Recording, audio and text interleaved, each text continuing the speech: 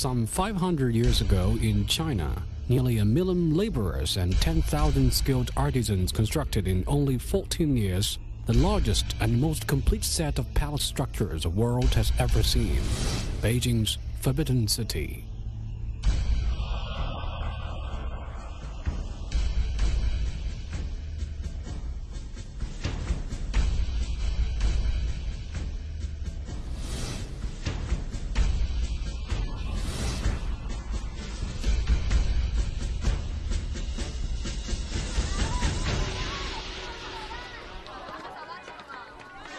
Today, the 720,000 square meter Forbidden City attracts over 8 million visitors from around the world each year.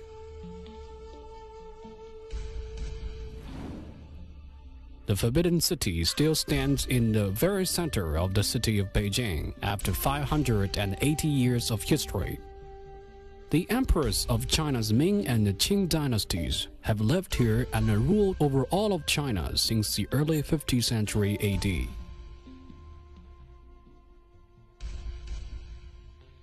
The Forbidden City is not only the emperor's residence, it also has a special significance.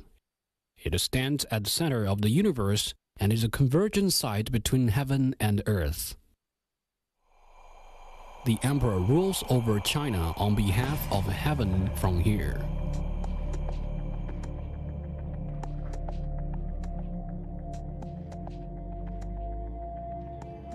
The Forbidden City, literally the Purple Forbidden City, is like the Chinese traditional legend of the Purple Palace, always enveloped by a layer of mysterious color. This mystery color owes, in a large part, to its unique space design and divisions. From the entrance Zhengyangmen to the Emperor's throne in the Imperial Palace, the distance is 1700 meters and takes almost 20 minutes walk.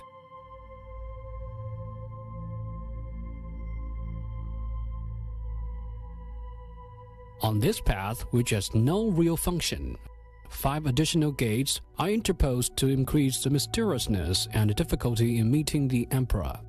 The hindered line of sight is meant to induce suspense and trepidation. The sanctity of the emperor is effectively constructed and set off by contrast through the complex and overlapping buildings. When entering this immense and sublime palace, the sky almost seems to hang low in front of the eyes and becomes only a part of the palace. For those who come here for the first time, the enormous palaces suddenly appearing before the eye must surely make a stunning visual impact.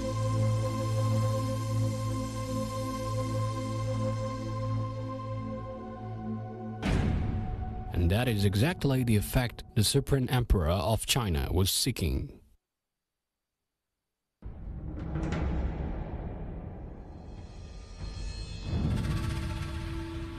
In 1406 AD, the third emperor of the Ming dynasty, Ming Chengzu, ordered the construction of a completely new imperial palace.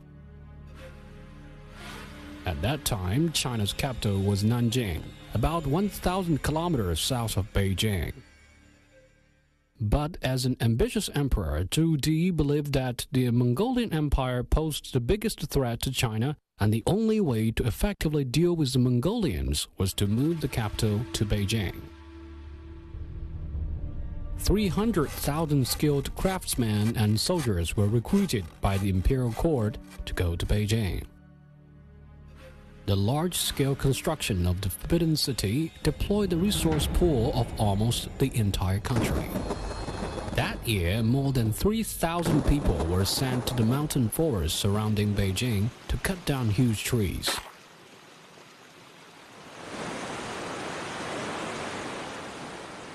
The timber was sent floating down the Yongding River, retrieved out of the water at Lugou Bridge, and taken on a custom-made huge vehicles to the city walls to build City Gate.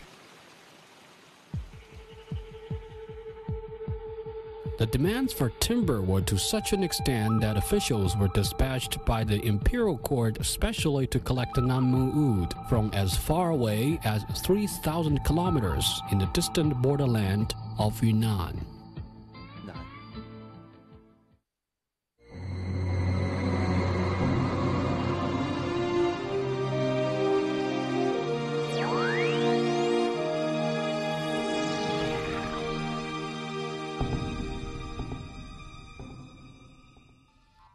There was also a great demand for stone in the construction of the imperial palace.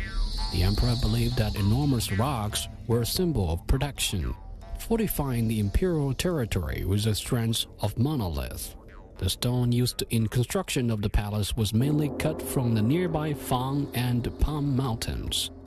But how were such huge rocks delivered to the city? In winter, laborers would splash water to make a road of ice.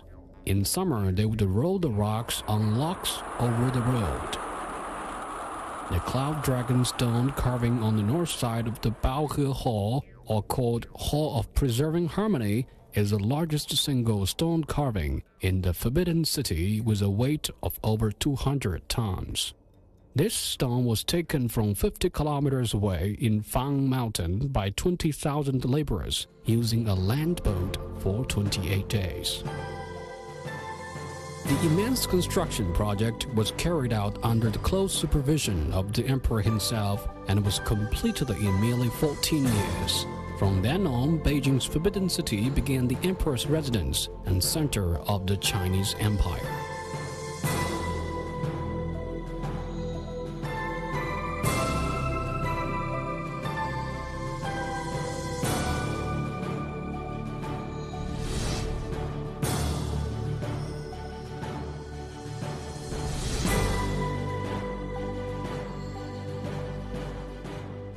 Emperor is the sole master of the Forbidden City, and his authority must be represented in every aspect inside.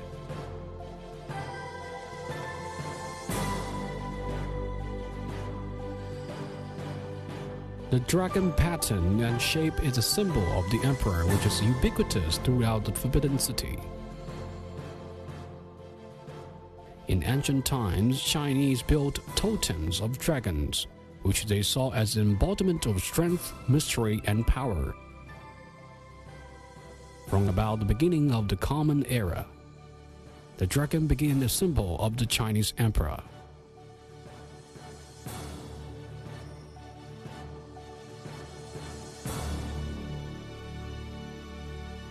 The largest palace in the Forbidden City, the Taihe Hall of Supreme Harmony, is a symbol of the emperor's power where many emperors have conducted various important ceremonies. The entire hall is carved and decorated with numerous dragon designs. Someone once calculated the total number of dragon sculptures and designs within and without just this one palace to be as many as 13,844.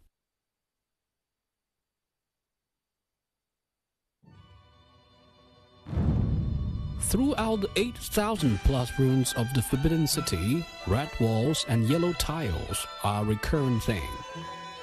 The ancient Chinese theory of the five elements says yellow represents the earth, which stands in the center, thus showing that the Son of Heaven rules over all from the center. Red has been revered by Chinese since ancient times as the color of fortune, representing happiness and well-being. The five elements theory also state that red governs fire. So, as the most exalted place on earth, the Forbidden City must of course create a prosperous atmosphere. Not only are the buildings mainly yellow throughout the Forbidden City, but all of Emperor's instruments had to be bright yellow, the color the Emperor designated especially for the imperial family. If a minister or commoner were to use this color, it would be seen as a condemnable and punishable act of insubordination.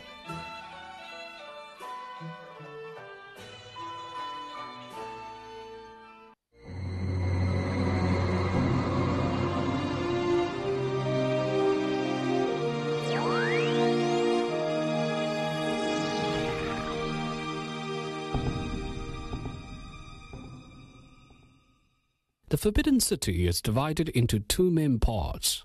The first half is where the emperor conducts various rituals and grand ceremonies. The second half is where the emperor lives and takes care of daily governmental affairs.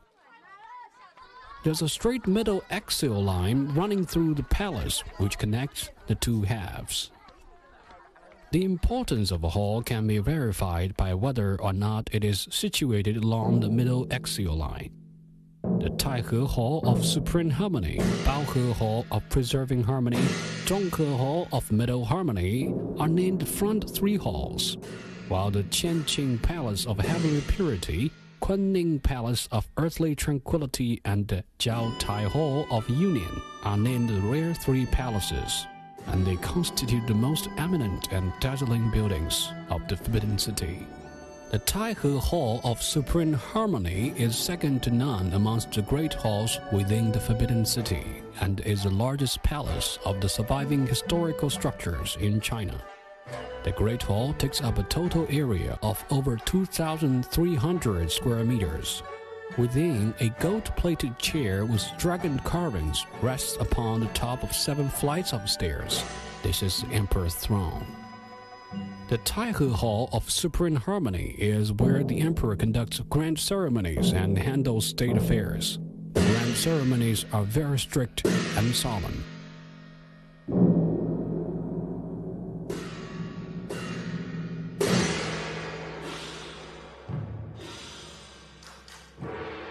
When conducting imperial grand ceremonies, not only Chinese ministers but also ambassadors from various other countries waited silently in front of the gate of Supreme Harmony.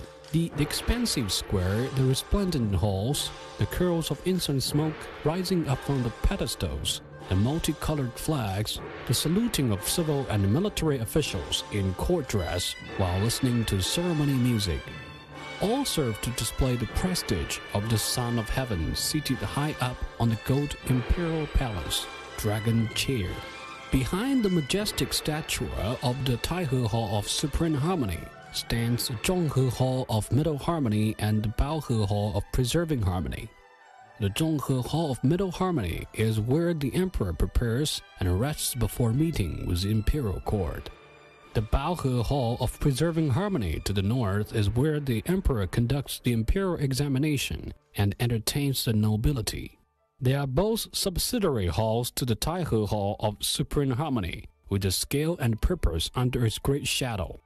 A threesome or trinity is an ideal structure in the minds of ancient Chinese. The Forbidden City ends at the Qianqing Gate of Heavenly Purity, with the interior court to the south and the posterior palace to the north. The posterior palace consists of the Qianqing Palace of Heavenly Purity, Kunning Palace of Earthly Tranquility, Jiaotai Hall of Union, and six palaces to the east and west. This is the home of the emperor. During the imperial times, if not at least a level 3 rank official or high ranking imperial bodyguard or attendant by the emperor's side, no one would dare appear in such quarters. The Taihe Hall of Supreme Harmony is where grand ceremonies and the festival celebrations are held, while the Qianqing Palace of Heavenly Purity serves more as a place for the daily affair of the state.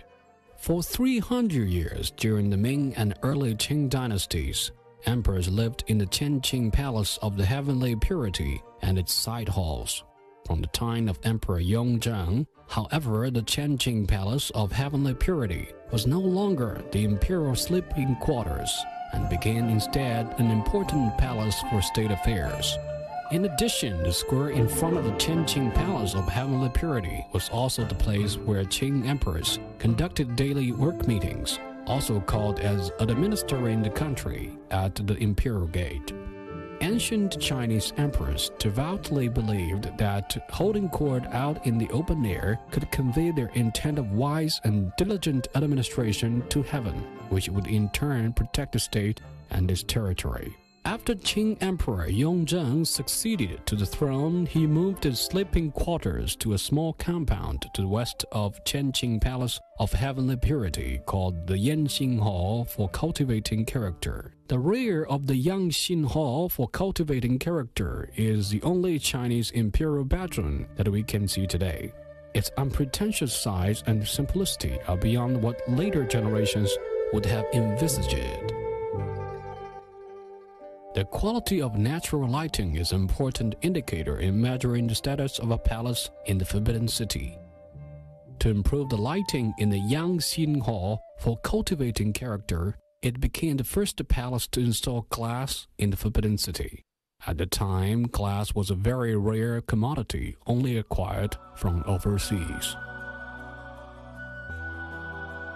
The stately palaces, street etiquette, and complex ceremonies all shroud the Forbidden City under a veil of mystery.